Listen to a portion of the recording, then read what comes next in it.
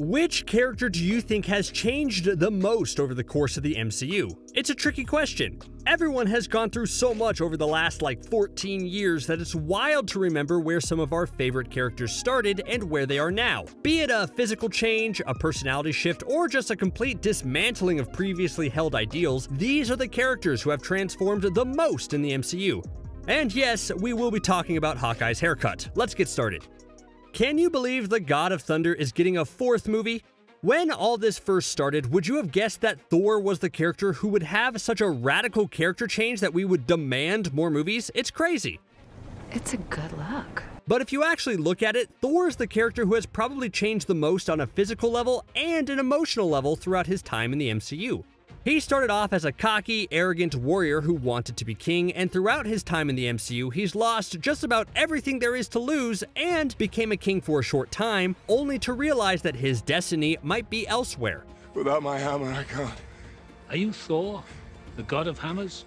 That's a huge character shift, and it's one that will continue to be explored in future movies. But then, of course, there's the physical stuff we have to mention.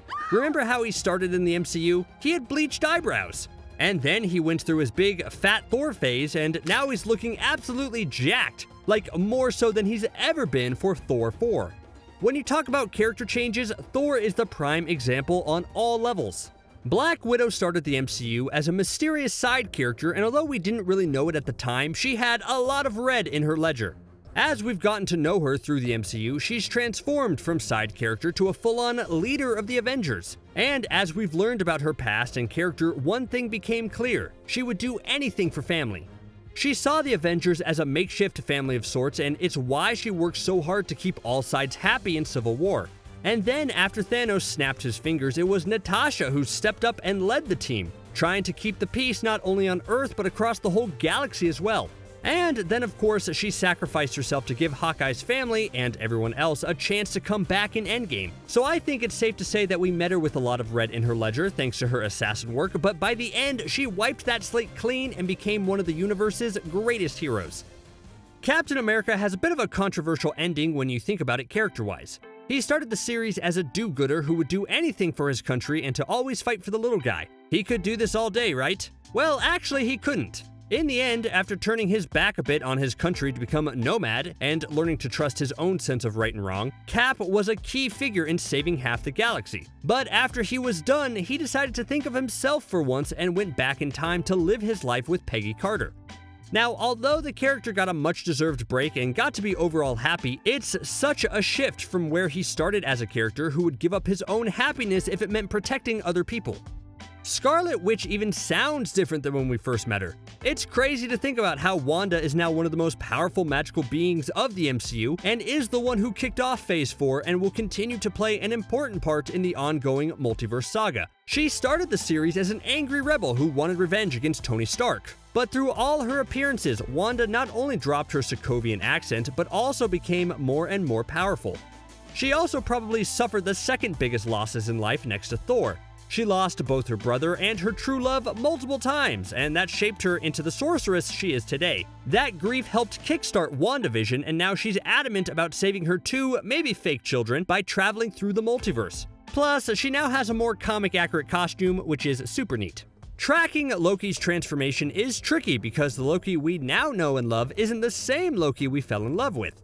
The whole variant thing throws a wrench in the whole character development, but we can at least say in a lot of timelines, a lot of Lokis evolve the same way. They start off a little upset with their lot in life, they trick their way into positions of power, and near the end, they realize how much their brother means to them, and try to be somewhat of a hero.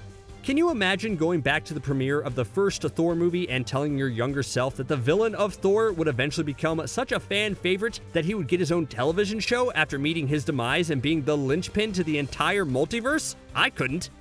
Alright, I'm going for the easy joke. Bruce Banner has probably changed the most out of anyone on this list because he started the MCU looking like Ed Norton. Boom! Nailed it.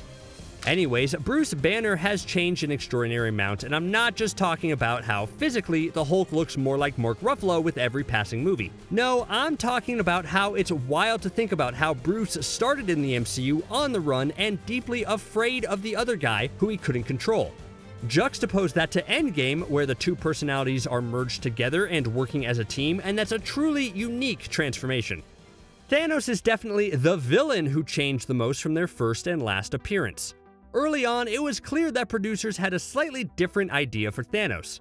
He was an odd shade of purple, he wasn't played by Josh Brolin, and it looked like they were trying to follow the whole Thanos is in love with death thing from the comics. But of course, all that changed over time.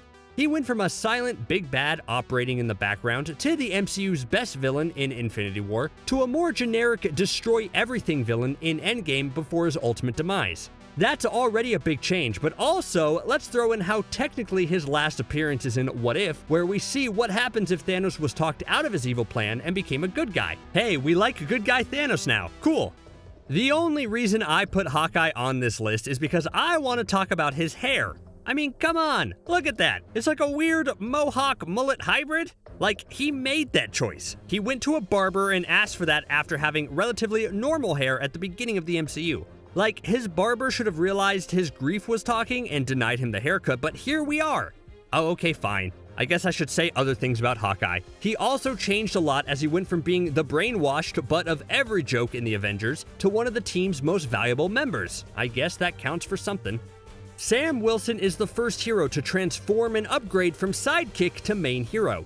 He's gone from Falcon to Captain America, and the journey he went through in the Falcon and the Winter Soldier TV show in order to accept the shield was incredible. And his future isn't done yet now that he's carrying the shield, as officially there's a Captain America 4 in the works with Sam Wilson as the lead. Not bad for someone who started the series trailing behind Steve Rogers while running and commenting how he does everything Cap does, only slower. Now this means every sidekick can transition to the main hero. Come on, make Luis Ant-Man, you cowards! Bucky Barnes is another sidekick who underwent a dramatic character arc and transformation. He started in the MCU as a soldier and Steve's best friend. But then, after a small fall from a train, he went through a long period of being a brainwashed Russian assassin. The Winter Soldier seemed unstoppable until Steve found him again and was able to help him clear his mind to get back to normal. Then, after an extended stay in Wakanda, Bucky finally broke free of the brainwashing and became his own person again. Instead of a mopey, silent, long-haired assassin, he became a fun dude who went to Sam's neighborhood potlucks and even flirted with Sam's sister. Talk about a major transformation. I would have included Paul Rudd's Ant-Man on this list, but let's be honest, Paul Rudd is an immortal babyface who will look the same long after we're all old and gray and sitting in a retirement home eating tapioca pudding. Hey, that means probably we'll get at least 27 Ant-Mans, which is fine by me. You know, as long as Luis gets an Ant-Man suit eventually.